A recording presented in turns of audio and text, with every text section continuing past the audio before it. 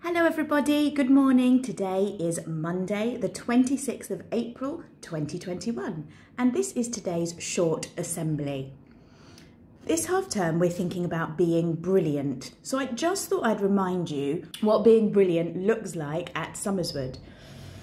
Being brilliant is about doing everything that needs to be done without being asked and then producing something fantastic. So I'm not expecting your teachers to have to remind you about our three school rules. Take a pause for a minute and remind us what are our three school rules. That's right, it's be kind, be safe, and be involved. And all of these things are part of being brilliant. When you do something a little bit extra, so a piece of writing, so for example, last week I had a young man from class 3R come and show me his story that he'd written. His handwriting was excellent and there was more writing on the page than I've ever seen him do. That is brilliant. Something a little bit more. It could be an artwork where perhaps your previous pieces of art haven't been that brilliant, but this time you've really understood it and you've really done it without any adult support. So this week, that's what I'm looking for again. I'm looking for children who are doing everything that needs to be done. I'm looking for children who are trying their best to be brilliant. We all need a bit of help sometimes from our grown ups, but we're looking for that fantastic outcome, fantastic PE, fantastic maths work. Maybe on a day where you found the maths really difficult, but you didn't give up, you just kept going to show your brilliance. So this week, who can show me something brilliant? I can't tell you how much I love to see children come to my office or if I'm called over to your classroom to see brilliant work. I'll be bringing a camera so I can take your picture so everybody in our school knows who's been brilliant and why. And that's really important. I want you to be able to tell me why you have been brilliant. Your teachers may know and they may tell you, but I want you to think about the process you've been through on that piece of learning to be brilliant.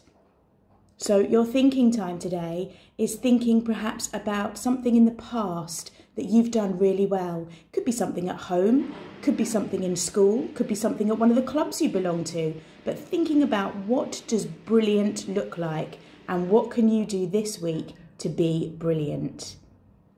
Have a really good week, everybody. I'm looking forward to seeing some fantastic pieces of learning. Have a lovely day.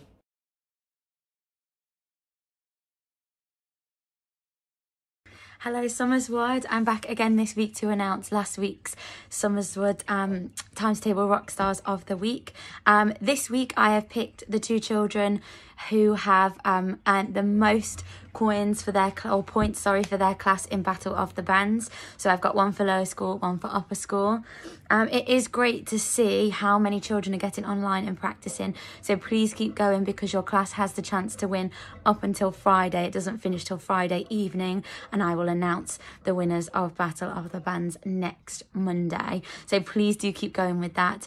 And um, please do keep trying your hardest each day. And you should be doing three minutes at least um, every day after school, before school, whenever suits you at home, but make sure you are doing at least three minutes of times table practice. So I'm going to announce the winners and I'm going to start with upper school first. Um, so the winner this week for upper school has earned the most points for their class during the Battle of the Bands since it started on Monday last week.